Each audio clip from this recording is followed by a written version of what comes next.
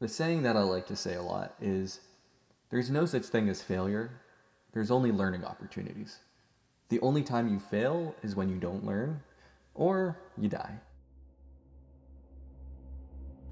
I'm not ready. I'm not ready. Get away from me.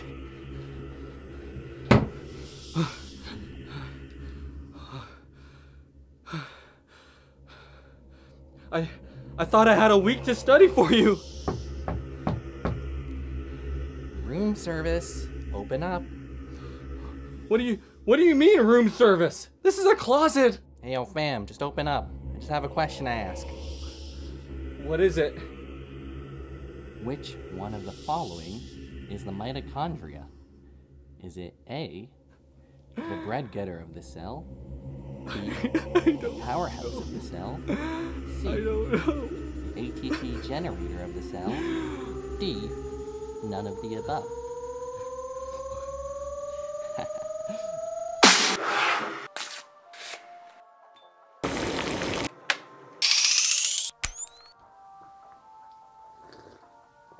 Whew, that's some good tea. Jasmine, my favorite. Hello everyone, welcome back to the channel. For those who are new here, my name is Tahir Dahrouj and I'm a first year medical student at the University of Western Ontario Schulich School of Medicine and Dentistry. In today's video, I'm going to be talking about the best study method that you should be adopting and the one that I currently use in med school and wished I would have used in undergrad. It's called active recall. So exam seasons come right up around the corner and it's super important to have proper and efficient study methods because it's unfortunate that our professors don't actually teach us how to study and we're kind of expected to learn how to study on our own. And sometimes we adopt very inefficient study strategies, despite them being the most common. These include note-taking, highlighting, and rereading your notes. Your study methods are inefficient. Now, the benefit of active recall is that it cuts down on all the time that you can spend on studying in these inefficient strategies and spend them more time studying. Kidding. Now, a person who does a really good job at talking about the evidence behind active recall and the evidence behind the inefficient study strategies is Ali Abdaal. He does it in a soothing British accent with piano music in the background. I'm gonna link his video down in the description below. Here's the structure of the video. I'm gonna be talking about what is active recall, how it works, and how I use it in everyday studying, and how I wished I would have used it in undergrad. I'm gonna be linking to timestamps down below where you can skip through the video and watch certain sections if that's what you feel like doing. All right, what is active recall? Active recall is when you put yourself into positions where you're required to test the knowledge that you put inside your brain.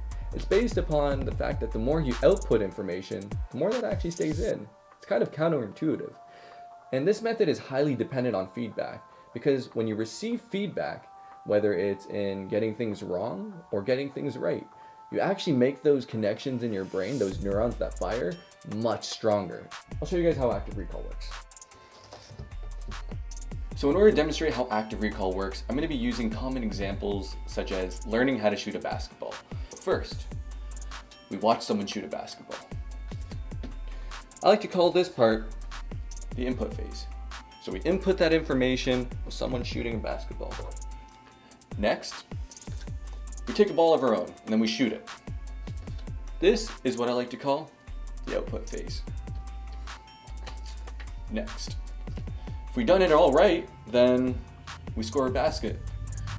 I like to call this the outcome. If you get it wrong, then we gotta go back somewhere. This is what I call feedback. So it could be your teacher just telling you, you know, you suck at shooting a basketball, do it again.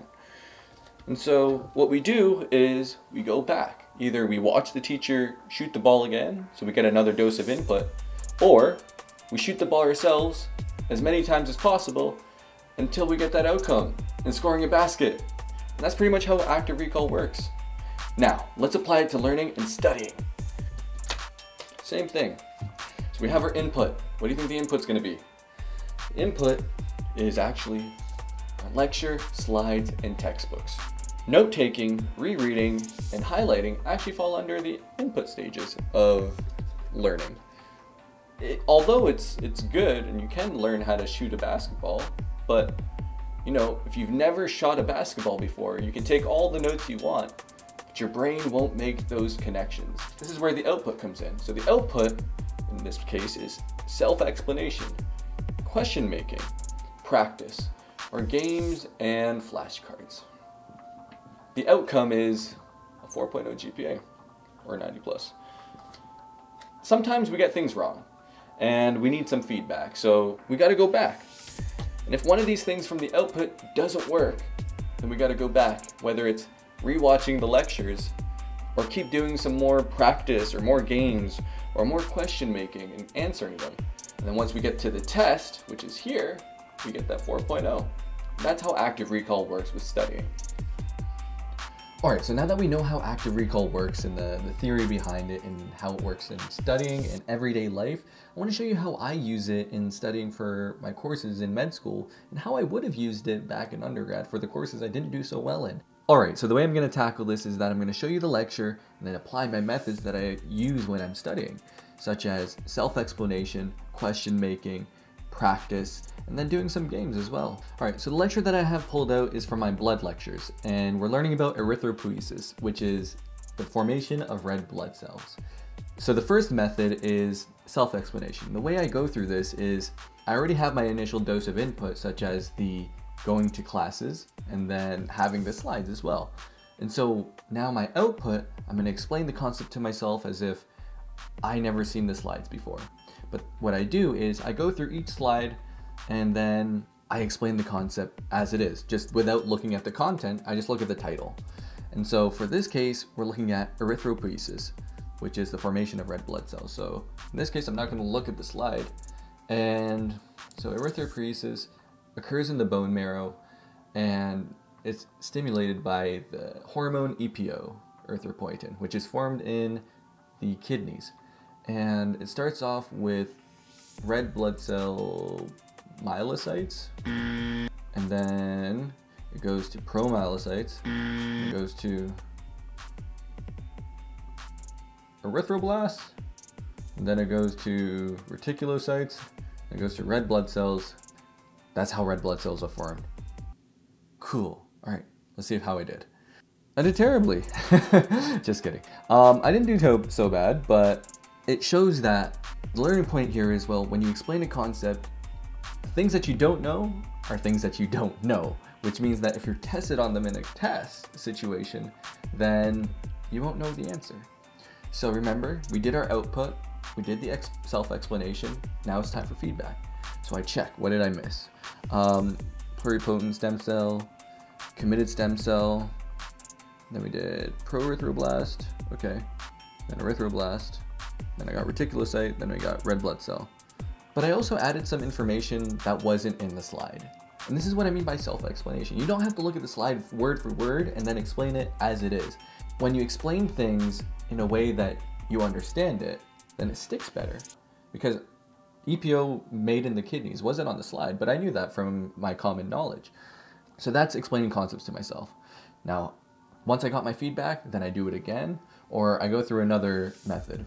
All right, so the next method is question making. This one's a little bit more time consuming, but it's a lot more comprehensive. So the point of it is that you make the question, then you go through your questions, and then you answer them. And then whatever questions that you don't answer are the ones that you need to go back and refresh your knowledge upon. But I also use something called lecture objectives. Usually professors put this at the beginning of the slideshow. So for this lecture, one of the lecture objectives is describe the normal steps of RBC production which is essentially erythropoiesis. But that's not really what they test on. So describing the normal steps of RBC production won't be a test question. But then when I look at the slide, I look at everything that's on the slide and all the information that's on there, and then I ask myself, okay, hmm, where is erythropoiesis taking place? Um, at what point do cells lose their nucleus in erythropoiesis? Hmm, are there clinical situations where you might see more of a certain step than others? So even though that the questions don't get answered in this exact slide, but the thing that I'm doing is when I'm asking these questions, I'm gonna keep these thoughts in my head. And so for future slides, maybe I might come up with the answer. So I'm gonna make another video about this where I'm gonna go more in depth on how to make your own questions and prepare for exams and maybe anticipate questions that you might actually see on the exams because I've had a couple of moments where I've written some questions and they actually appeared on the exam. It's a great feeling. So yeah, I'll show you guys later. All right, now method three is practice, practice, practice. In med school, we have this book called the Pre-Clerkship Workbook, where a bunch of upper year students actually make questions from the content that we're learning, and they made a textbook about it. And I try to get to these questions as fast as I could. So maybe after one run through with the slides, and then I do the questions. Because that's where the bulk of your, your learning comes from. Remember the whole feedback process. You make those networks stronger and those connections stronger when you get more feedback. Because when you're rereading and note taking, you don't know if those things are right or wrong. But when you do questions, you know they're right. So in undergrad, what I used to do is I used to get as many practice resources as possible. For instance, I remember in my chemistry class when we had lab books, they used to have practice questions inside the lab books and practice exams, and I'd go through all of them as much as possible. And sometimes people were able to share past exams and go through that. Those are also golden because they're exactly what you're going to be tested upon rather than making up those test questions. And so that's why practice is so important. Which because you're able to get that feedback, that immediate feedback, and remember it more. Remember, the more you output, the more that stays in. All right, and the fourth method that I use is actually playing games, or you can replace this with using flashcards. So using games such as a matching game is very helpful for memorization based tasks. And I used this when I was teaching English in Korea.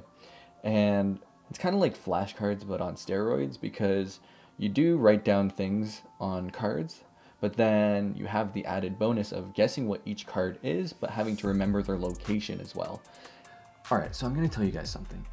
I feel like these new methods that I'm teaching you guys and telling you about is so different from the conventional and traditional methods that people are so used to. And there's a reason why people don't make the switch. For me, when I was in undergrad, I didn't make that switch because I don't like knowing I'm wrong. I like knowing that peace of mind where I'm doing my notes and I'm reading them and I feel like this information is going in, but we don't like to know that we fail or get something wrong. It took me a while to realize that. And the saying that I like to say a lot is there's no such thing as failure, there's only learning opportunities. The only time you fail is when you don't learn or you die. And so that's how I approach learning now using active recall. I look for as many opportunities to test myself to make sure I can use this knowledge that I got inside my head and just go out there and put my knowledge out there. Please let me know what you guys think about these methods. Leave your comments down below. And if you have any questions about active recall or you want to learn more about active recall, please feel free to comment or send me a message, send me an email. Follow me on my socials, smash that subscribe button. If you enjoyed this video, please leave a like and share with someone who might need some study strategy help. And as always, best of luck with exams. You got this. And yeah, all the best. Peace.